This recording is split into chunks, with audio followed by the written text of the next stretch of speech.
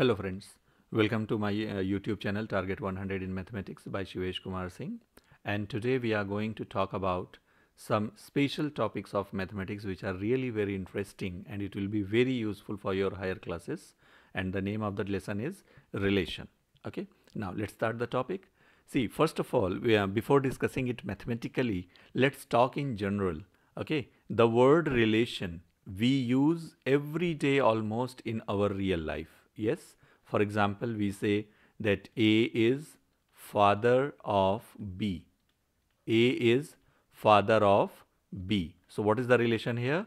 Father of. Okay. Similarly, we can say A is teacher of B. So what is the relation here?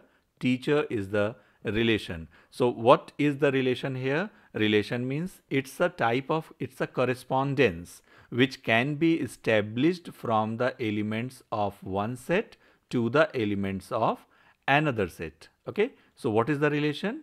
It is a correspondence which can be established from elements of one set to the elements of another set. Okay. Now it is the general meaning. Now what will be the mathematical definition of the relation? See what is the relation basically? A relation R defined from the set A to another set B is the subset of A cross B.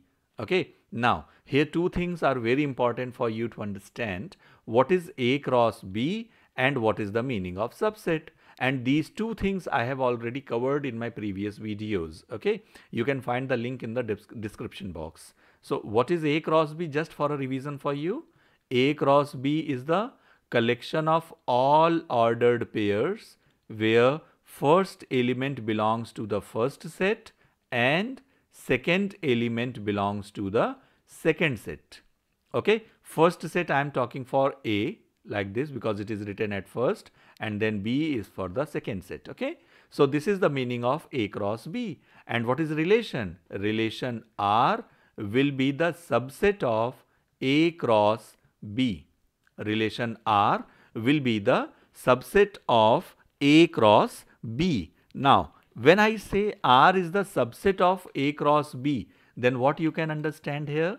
That every element of R will belong to A cross B from the definition of the subset, okay? Or we can say like some or all elements from A cross B will belong to R. Now that will depend on certain conditions that what element will belong and which element will not belong to R. Okay, for example, uh, let's write an example here for you so that you can understand it in a better way. Question may be let R be the relation, R be the relation is divisor of. Let R be the relation is divisor of from the set A is equal to 1, 4 and to 2 is uh, to B is equal to 2, 7. Okay. List R. List R means you have to write all elements of R. Now how you will write since it is the beginning of the lesson. So we are going to start with A cross B. And once you are done with good number of questions and concepts are clear to you, then you can directly write the values of R. Okay. No need to write A cross B. So A cross B means how you will write the ordered pair if you remember. See for uh, A cross B take one element of A and write ordered pair with all the elements of B. So 1, 2 and 1, 7. Then after that 4, 2 and 4, 7. Okay, this is A cross B. Now, how you will write R? As I have told you, R means the ordered pair which will satisfy this relation. And what is the relation? Is divisor of. And what you will understand here? Every time relation should be defined from first element to the second element. So, before is you write the first element and after of you write the second element. Okay? And check whether it is right or wrong. For example 1 is divisor of 2 this is correct because 1 is divisor of every number. Yes? 1 is divisor of 7 this is also correct. So it will also belong to R. Then 4 is divisor of 2. This is wrong because 4 is a bigger number. So it will not belong to R. Okay. 4 is divisor of 7. This is also wrong. So only these two elements will belong to R. Okay. So you can see from here that R is the subset of A cross B and it is quite obvious because we are taking elements of R from A cross B. So it has to be the subset of A cross B. Yes. Okay. Now hope this example is very clear for you. So whenever any relation is given, you just write first element before the relation and second element after the relation. And if you see that yes, it is satisfying the given condition, this is true statement, then that particular ordered pair will belong to R, otherwise it will not belong to R.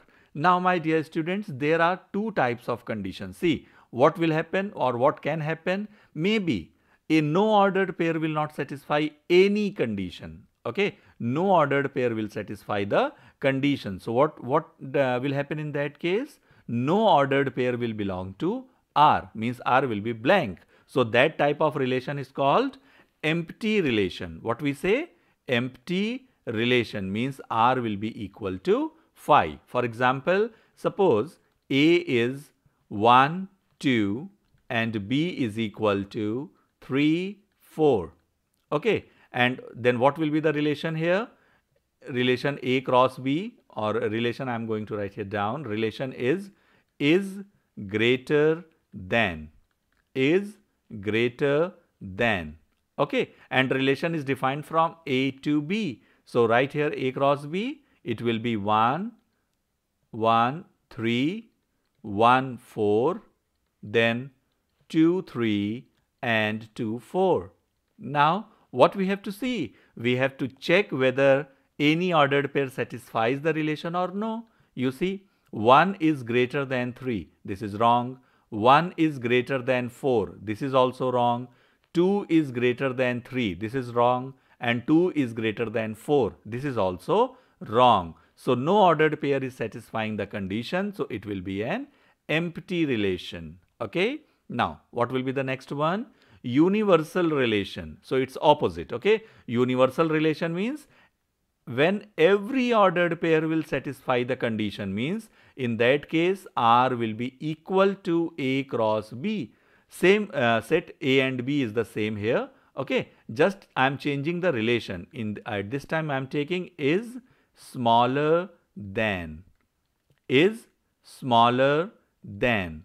Okay, so if you take the smaller this relation for the same A cross B, so you can see here 1 is smaller than 3 it is right so it will say it will belong to R 1 is smaller than 4 this is right 2 is smaller than 3 this is right and 2 is smaller than 4 this is also right. So you can see every ordered pair of A cross B is satisfying the condition. So that is called universal relation. Okay. Now another thing is domain and range of the relation. Now this is very important for your sim simple questions. Okay. See domain and range this term will be widely used in relation and function especially in the function okay but it is just a beginning so try to understand with the relation only see for example if relation is given as some ordered pairs i am writing here say for example 2 7 4 9 then 3 6 and then 5 9 like this any ordered pair you can write okay so what will be the domain domain means from every ordered pair, you will write the first element. Domain means first element of every ordered pair without repetition. Okay. So it is 2, 4, 3, 5. You see, I have written only the first element from every ordered pair. So this is called domain. And what will be the range of the relation? Range of the relation will be the second element of every ordered pair without repetition. So this will be here you see 7 is the second element, then 9 is the second element, 6 is the second element and see 9 comes again second time. So no need to write it for the second time. So this is the range. Okay. So what is the domain for the relation? Domain means all first element of every ordered pair and range means the second element of every ordered pair is called range. Okay. Now, let's see some questions based on these definitions. Okay. And I'm sure you will understand these questions easily. So, first question is let R be the relation defined on the set of integers. Students, it is very important to see what is the set given here, okay? Because we are going to consider number accordingly. So, here relation is defined on set of integers as this is the relation given. For example, I have written there father, mother, sister, brother, teacher, okay? Greater, smaller. So, here what is the relation? Relation is the product of two numbers must be equal to 10 where a and b both are integers okay? Because this relation is defined on set of integers. List r. So we have to write all the elements in r. So what we have to do here? Product is 10 so what all factors are possible for this 10 what all pairs are possible? 1 and 10 2 and 5 and I don't think that we can find any other pair. Yes? So, one ordered pair will be 1, 10. Another ordered pair will be 2, 5.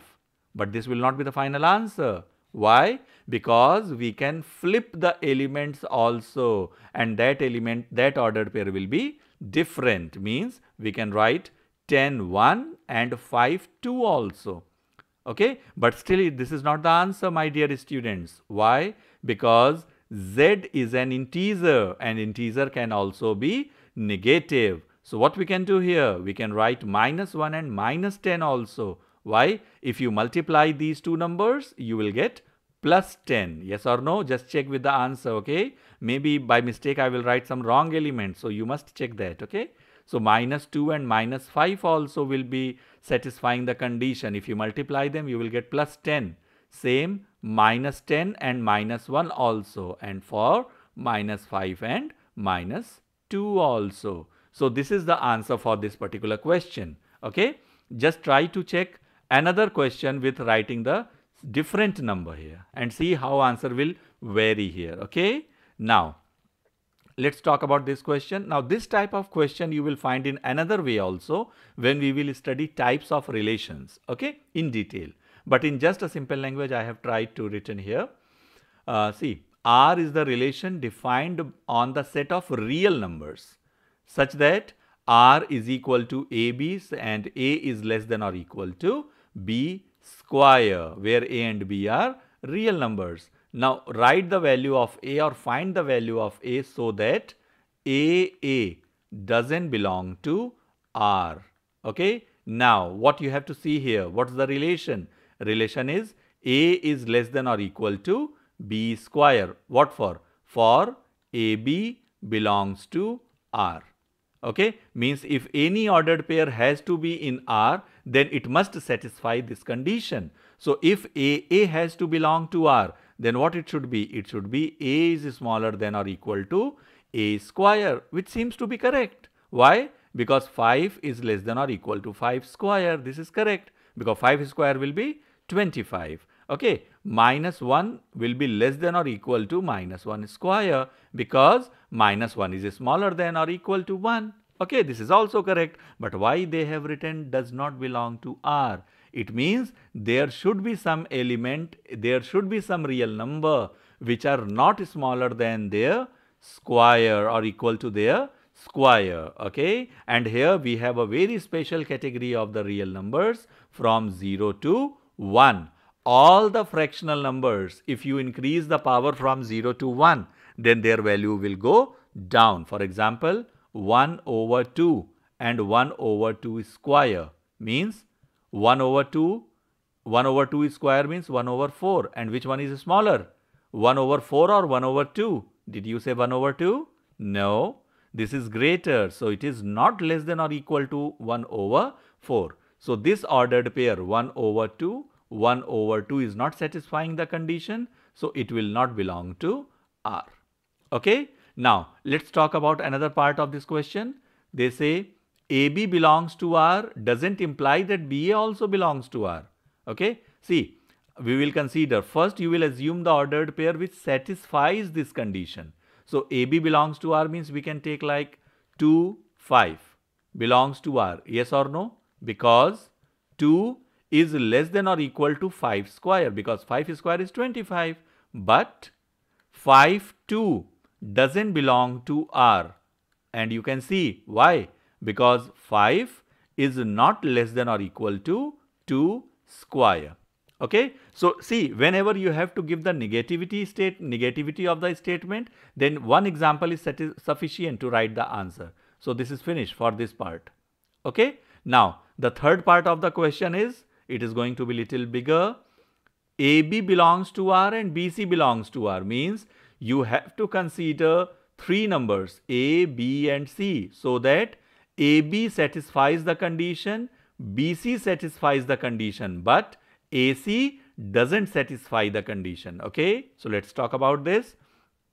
We can say okay 5 and 3 belongs to R yes or no. See I will write here also 5 3 belongs to R as 5 is smaller than or equal to 3 square because 3 square is 9. So, it is correct. Now, 3 2 3 2 belongs to R as 3 is smaller than or equal to 2 square but 5 2 A and C you see this A and C doesn't belong to R. Why? Because 5 is not less than or equal to 2 square. So, here for A, B this is correct, for B, C this is correct, but for A and C this is not correct. So, this will be the answer. Like this I told you for negative statement only one example is sufficient to finish the question. Okay. Just try to write another combination of A, B and C and give me the answer in the comment box. Okay. Now, let's talk about this this very easy question but what why why I have written this question here I'll tell you. They say write the relation R x and x cube such that x is a prime number less than 10. So, prime number less than 10 so, here first number will be the prime number and the second number will be its cube. So, what is the, what will be the first element? 1, 1 because 1 and 1 cube is 1. Okay. Did you say yes? But this is the wrong answer. Because of this only I have taken this example. Why? Because 1 is not taken as the prime number. Okay. So, prime number starts from 2. So, 2 and then 2 cube means 8 will be the first element 3 is the prime number and power of 3, 3, 3 cube means 27. 4 is not a prime number, 5 is a prime number, so its cube here comes. Then 6 is not a prime number, 7 is a prime number. So 7 to the power 3 will be I think 343, just check the calculation, okay. Then 8 is not a prime number, 9 is not the prime number. So this will be the answer. So don't write here 1, 1, okay. Then your answer will become wrong. Some marks will be deducted, okay. Now, let's talk about, okay. So I am sure this example is clear to you, okay. And uh, in my another videos, I will tell you in more detail about the functions, okay. And I am sure these examples you have understood and it was little interesting for you. If you think that these videos will increase your knowledge, please uh, subscribe my channel and share with your friends. Thank you.